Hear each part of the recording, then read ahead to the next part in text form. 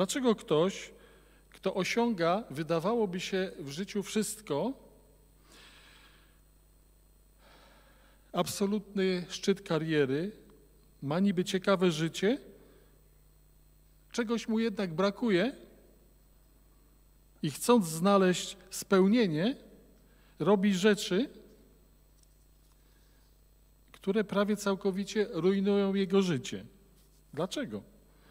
Ktoś osiąga coś, za czym tęskni większość ludzkości, a nagle idzie za tęsknotami, robi rzeczy, które niszczą to, co osiągnął. Ktoś jak prezydent Stanów Zjednoczonych, szczyt osiągnięć, szczyt marzeń wielu, robi nagle rzeczy, które prawie niszczą to, co osiągnął. Ugania się za starzystką, wchodzi w romans, żyje w oszustwie, ociera się o impeachment. Albo jakiś ceniony profesor uniwersytetu, genialny umysł, jego kariera jest spełnieniem marzeń wielu. Wychodzi na jaw, że miał drugie mieszkanie, o którym nikt z bliskich nie wiedział, i podwójne życie. Czegoś brakowało, jednak jakaś pustka. I sięga po coś, co prawie zrujnowało jego życie i nieszczęście bliskich spowodowało, a jednak płaci tą cenę. Temat jest bardzo poważny, dotyczy mocno wszystkich nas. Czy można pogodzić te dwie rzeczy?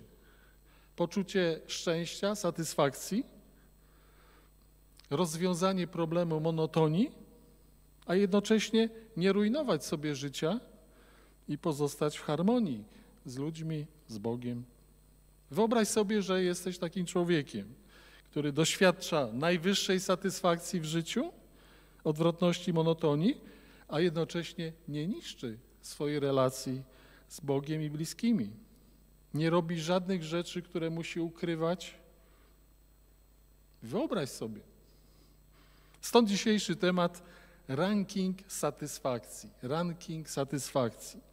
Poszukamy czegoś, co może być na szczycie rankingu, rankingu satysfakcji, zaciekawienia, a jednocześnie pozostaje święte.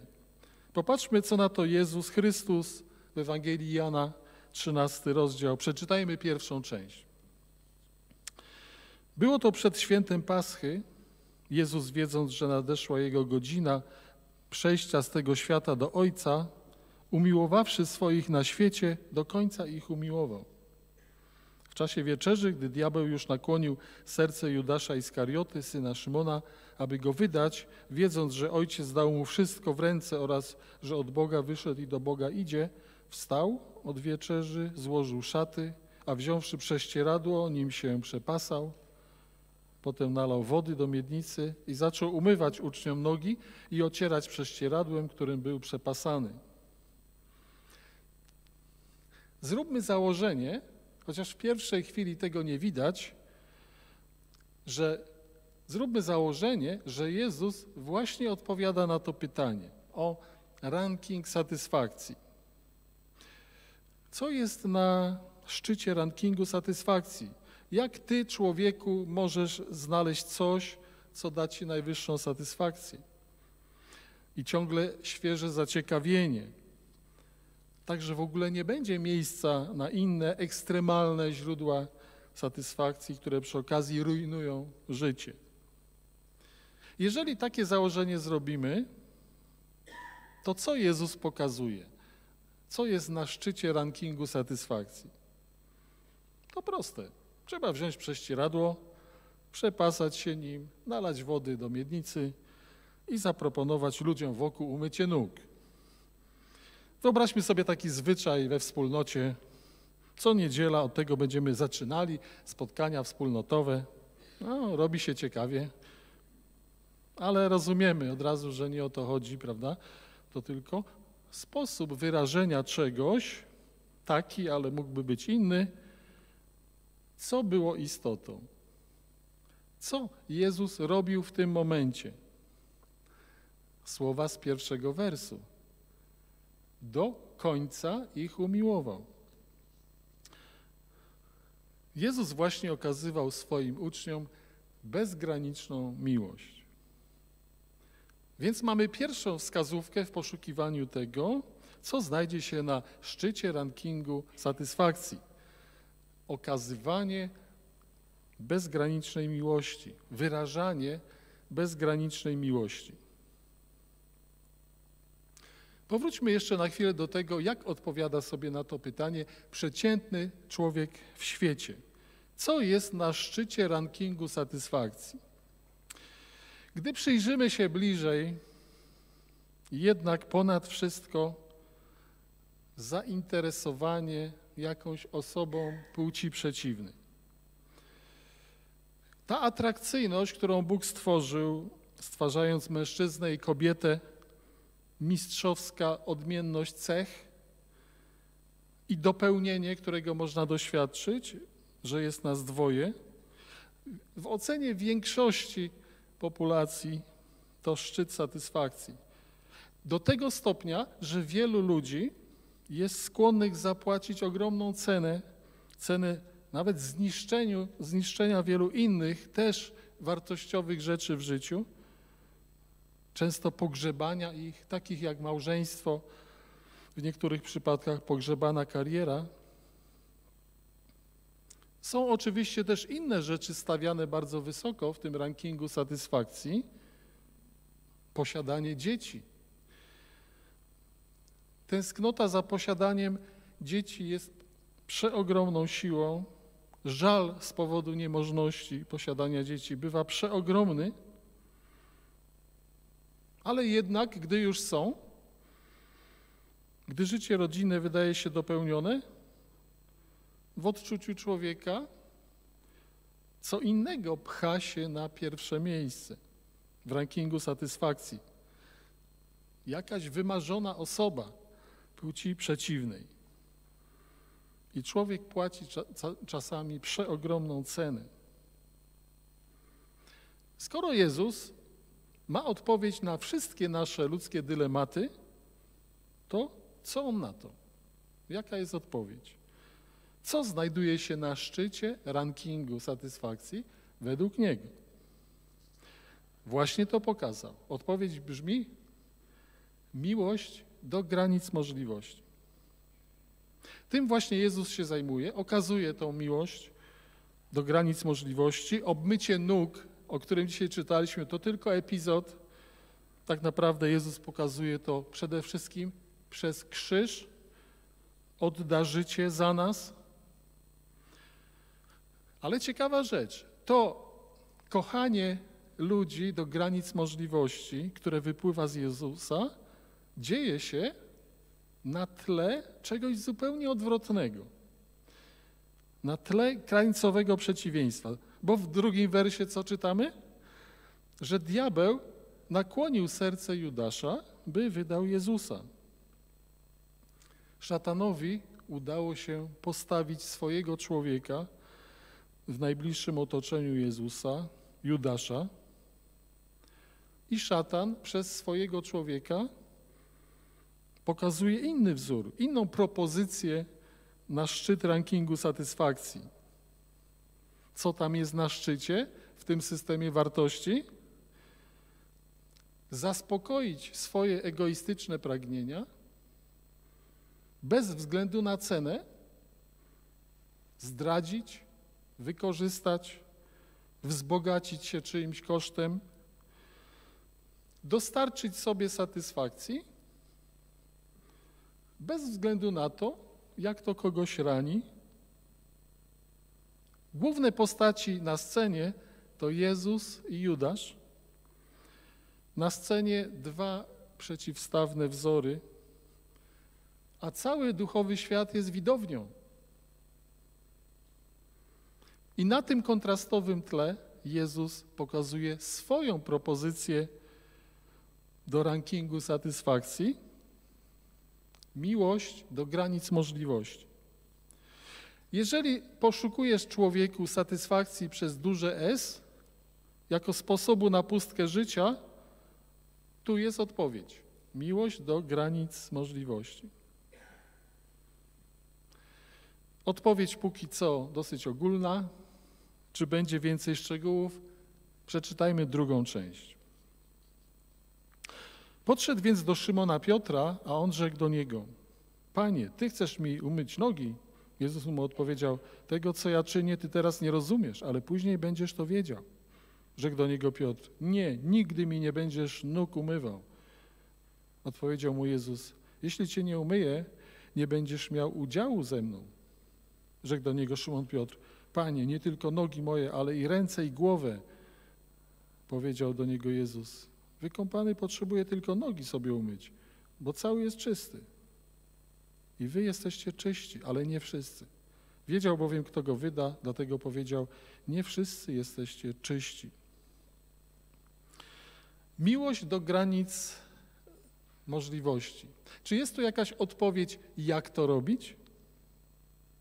Jak się przyglądamy temu wydarzeniu, co było charakterystyczne w tym, co zrobił Jezus? Patrząc chociażby na reakcję jednego z uczniów Piotra. Piotr był całkowicie zaskoczony. To, co zrobił Jezus, było czymś całkowicie niespodziewanym, nowatorskim. Wprawdzie umycie nóg było podstawową potrzebą tamtych ludzi w tamtym czasie. Gorąco, kurz na drodze. Umycie nóg było powszechną praktyką, jednak było to zadaniem najniższych sług, niewolników. To, że zrobił to Jezus, całkowicie zaskoczyło. Do tego stopnia, że Piotr, powiedział, że nigdy na to nie pozwoli. To, co zrobił Jezus, po prostu zszokowało uczniów. Tu nie było miejsca na monotonię. To było wyjątkowym, oryginalnym, mocnym przeżyciem. Nikt z uczniów nie mógł narzekać na nudę w tej grupie. Ale było nie tylko przeżyciem. Jezus powiedział do Piotra: Jeżeli cię nie umyję, nie będziesz miał udziału ze mną. Dlaczego Jezus tak powiedział? Stoi za tym pewna mocna zasada, która jest pokazywana w Bożym Słowie. Człowiek, chcąc duchowo wzrastać, rozwijać się, potrzebuje mocnego wzoru miłości. Tą zasadę możemy zobaczyć chociażby w pierwszym liście do Tesaloniczan 3. I zobaczmy, co Paweł tam napisał do chrześcijan w Tesalonikach. Pan niech spotęguje waszą wzajemną miłość dla wszystkich, jaką i my mamy dla was, aby serca wasze utwierdzone zostały. Gdy chrześcijanie w Tesalonikach zobaczą w Pawle i jego towarzyszach spotęgowaną miłość wobec nich, ich serca zostaną utwierdzone, to znaczy, staną się silni w swoich przekonaniach. I dokładnie to samo dzieje się teraz z Jezusem i jego uczniami. Z Jezusa wypływa spotęgowana miłość. Piotr może doświadczyć jej na sobie w postaci wody, która mile ochłodzi jego nogi, ale się wzbrania. Mówi: Nie, nie będziesz tego robił dla mnie. A Jezus mówi, ale jeżeli mi nie pozwolisz na to, coś ciebie ominie. Jak nie poczujesz tej zimnej wody na swoich stopach, jeżeli nie skorzystasz z okazji, bym coś zrobił dla ciebie, okazał ci miłość, coś cię ominie. Co? Że twoje przekonania sta staną się silne, pewność, dojrzałość. Czym więc był ten czyn Jezusa, umycie nóg uczniom? Nie tylko przeżyciem, mocnym przeżyciem, ale równie mocno budowaniem.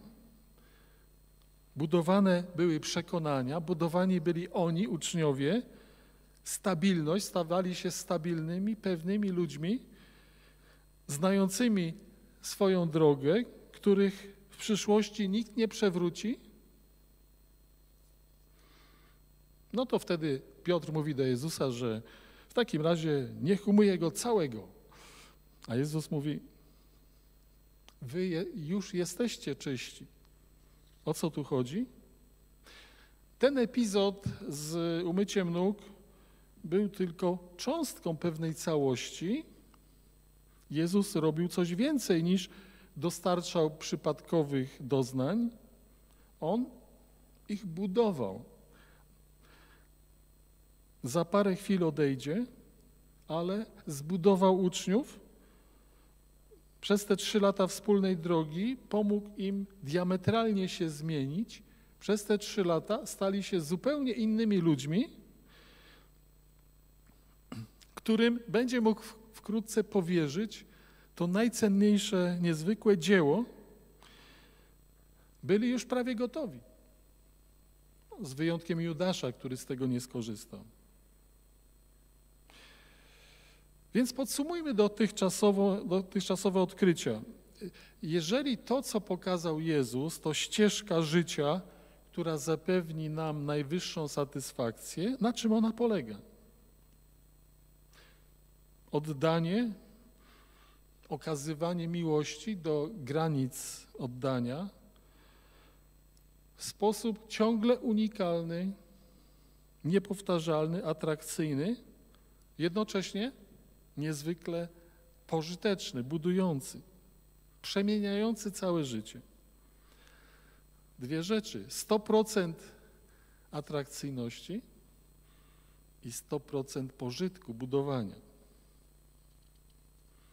To co, już wszystko wiemy, tak? Wiemy już, e, jak to zastosować, możemy iść do domu, tak? Jeszcze nie wszystko wiemy, przed nami ostatnia część fragmentu. A kiedy im umył nogi, przywdział szaty i znów zajął miejsce przy stole, rzekł do nich: Czy rozumiecie, co wam uczyniłem? Wy mnie nazywacie nauczycielem i panem. I dobrze mówicie, bo nim jestem. Jeżeli więc ja, pan i nauczyciel, umyłem wam nogi, to i wyście powinni sobie nawzajem umywać nogi. Dałem wam bowiem przykład, abyście i wy tak czynili, jak ja wam uczyniłem. Zaprawdę, zaprawdę powiadam wam, sługa nie jest większy od swego Pana, ani wysłannik od tego, kto go posłał. Wiedząc to, będziecie błogosławieni, gdy według tego będziecie postępować.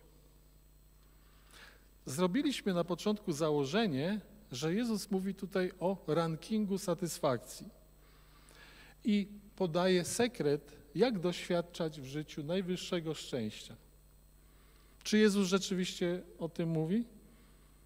A może, może e, to założenie było naciągane?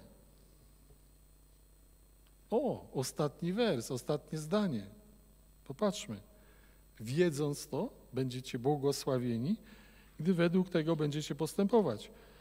Właśnie dokładnie Jezus o tym mówi, bo słowo błogosławieni oznacza, wszyscy wiemy, szczęśliwi. Jezus właśnie powiedział, co zrobić, by być szczęśliwym? Co jest na szczycie rankingu satysfakcji? Czyli co? Okazywanie miłości do granic oddania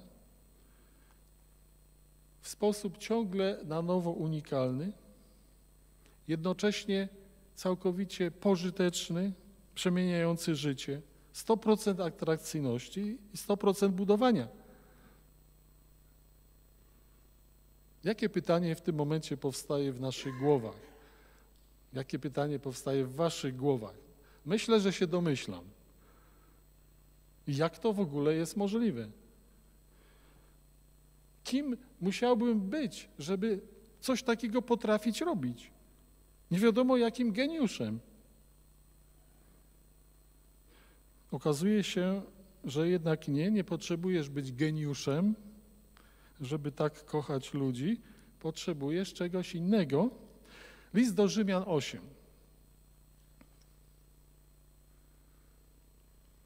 Mamy list do Rzymian 8?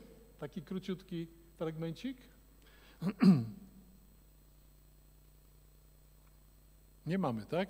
Gdzieś umknął nam. Brzmi on w takim razie w ten sposób, posłuchajcie. 14. To jest bardzo ważne. Okej. Ci, których prowadzi Duch Boży, są synami Bożymi.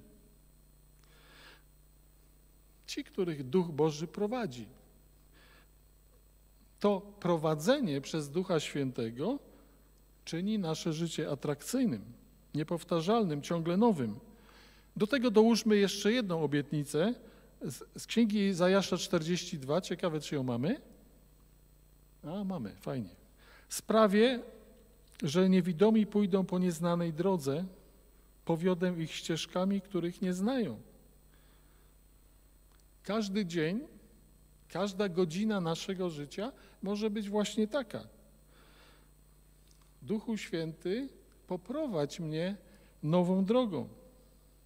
Natchnij mnie najlepszą myślą. Nie czarny zeszyt, w którym mam swoje doskonałe planowanie i strategie, to też jest potrzebne. Ale ponad takie rzeczy na wierzchu jest coś innego.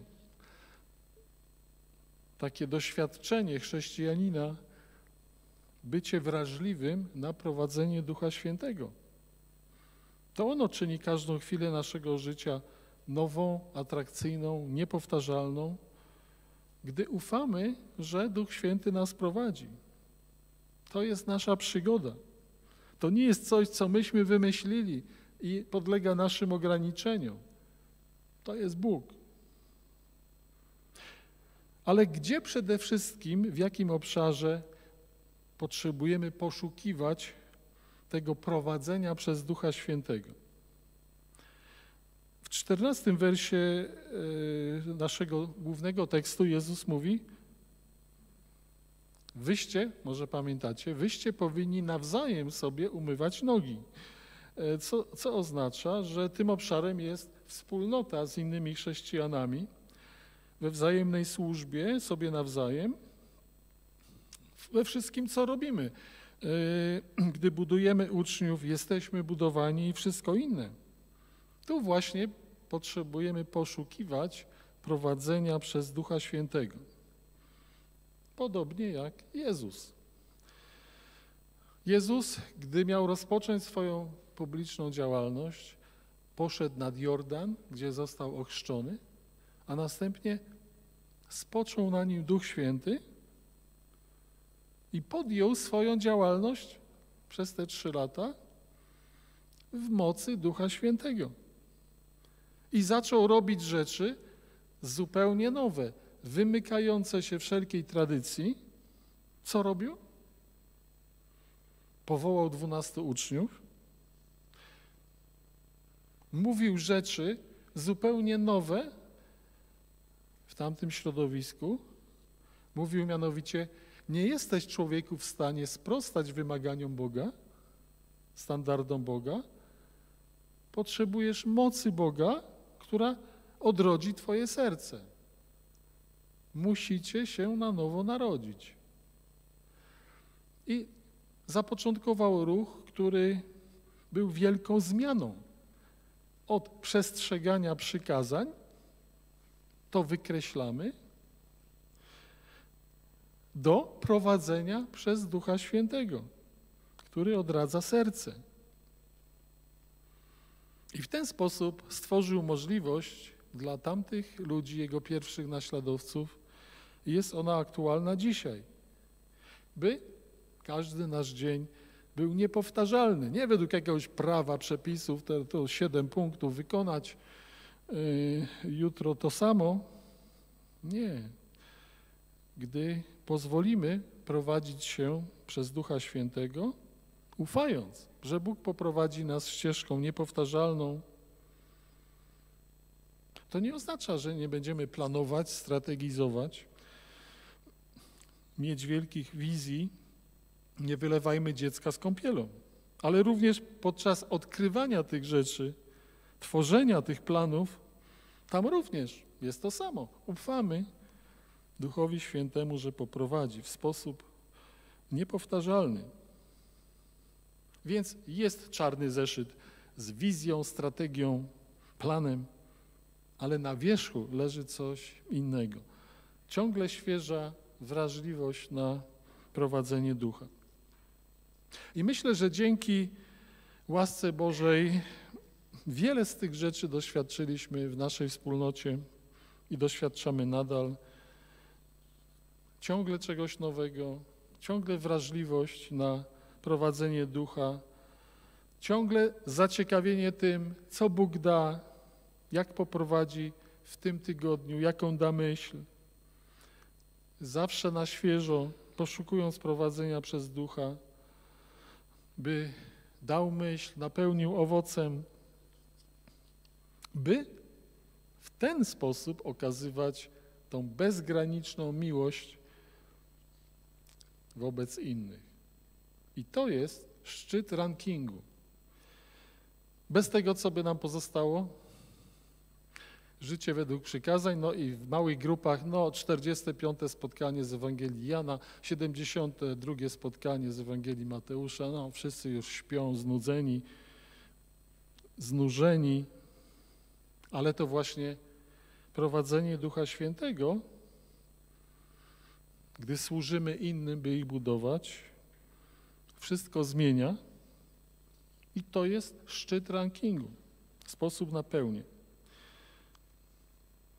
Niestety niektórzy chrześcijanie nie dochodzą do tego pułapu, do tego apogeum, ponieważ zatrzymują się trochę wcześniej.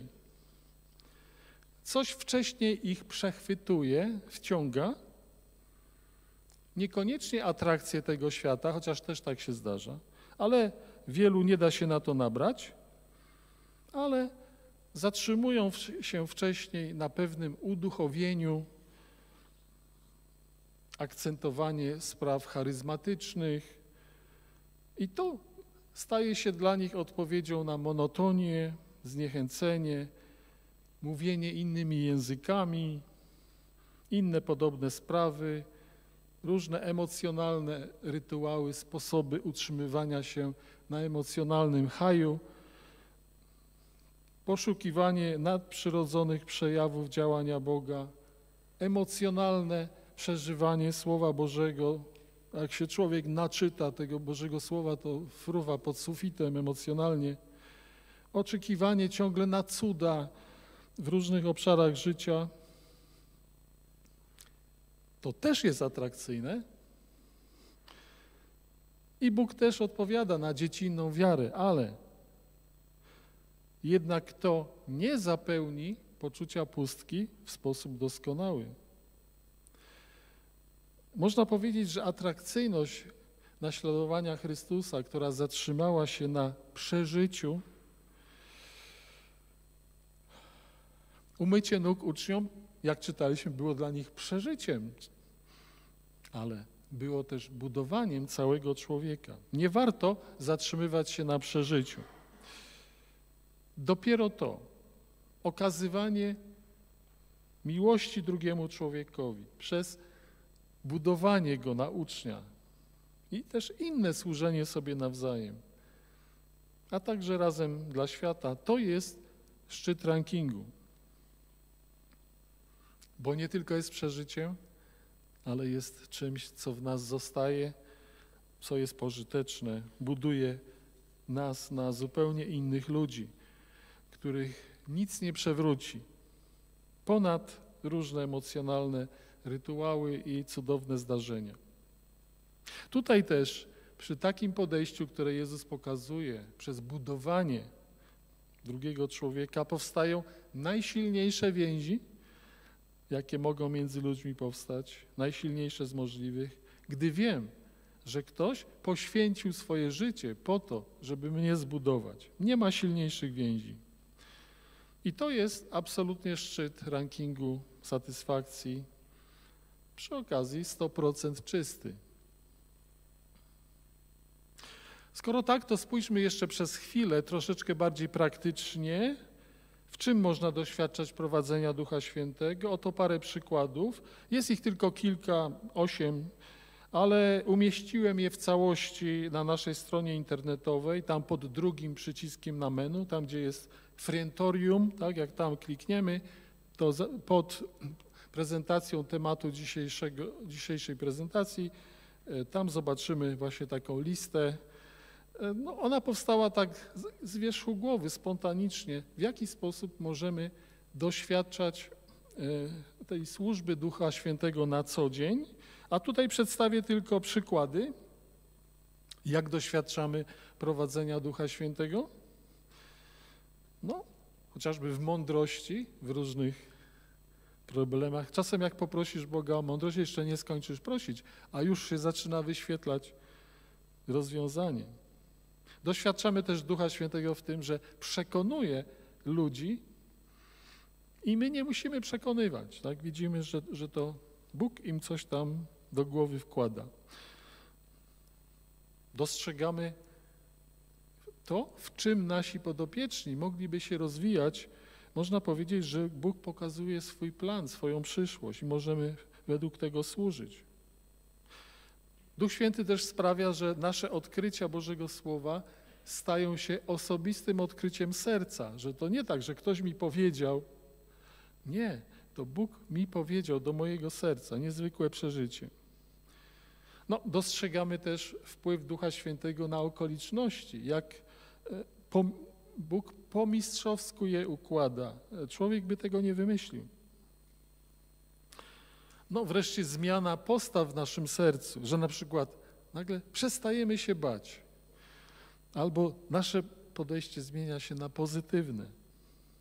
Wreszcie owoc Ducha Świętego. No to każda z tych cech to jest osobna, osobny wieżowiec, tak? Miłość, radość, pokój, cierpliwość, uprzejmość, dobroć, wierność, łagodność, opanowanie. No i jeszcze jeden przykład, Duch Święty, o, takie, tak Jezus obiecał, przypomina nam słowa z Biblii, których akurat potrzebujemy. Pewnie wielu z nas ma w tym doświadczenia. I tak dalej, i dalej. Więcej na Frentorium pod anonsem dzisiejszej prezentacji. Tak można doświadczać prowadzenia Ducha Świętego. I to jest szczyt rankingu satysfakcji. Ponad to wszystko, co dzisiaj dla przeciętnego człowieka na świecie jest na szczycie rankingu, czyli no, jednak to zafascynowanie płcią przeciwną. To, co Jezus pokazał w oparciu o służbę Ducha Świętego, gdy autentycznie to przeżywamy, jest mocniejsze. Tam to jest słabsze. Przy okazji to jest czyste i nie rujnuje życia.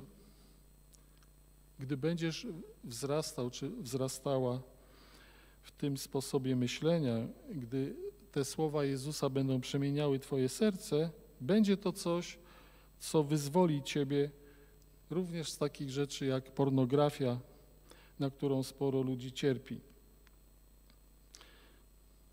Podążanie za Chrystusem z dnia na dzień, otwartym umysłem, gotowym na tworzenie, nie tam przykazania, tak, że tam to już było, tak?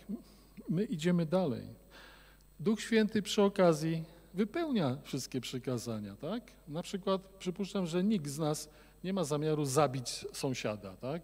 Nie zabijaj. No, no, czy ktoś z was chce dzisiaj zabić sąsiada? Może tylko tak emocjonalnie przez chwilę, tak? No, z innymi może jest, ale w sumie nie, Bóg powołał nas nie do przykazań. Te przykazania nas doprowadziły do Chrystusa. Teraz Duch Święty prowadzi. Tam zawsze też te przykazania są spełnione przy okazji, jak jest miłość. A więc otwartym umysłem, gotowym na tworzenie, oczekując na prowadzenie Ducha Świętego, w tym jak okazywać miłość, jak służyć sobie nawzajem w środowisku chrześcijan, we wspólnocie i razem służyć światu, to pełnia, pełnia według Jezusa szczyt rankingu satysfakcji. No to teraz tylko sprawdzać, czy to prawda,